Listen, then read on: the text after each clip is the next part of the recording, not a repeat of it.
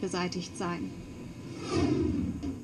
Der Serengeti Park Hodenhagen hat die Shows der kommenden Saison vorgestellt. In der Jumbo Bongo Mitmachshow wird trommelnd kommuniziert.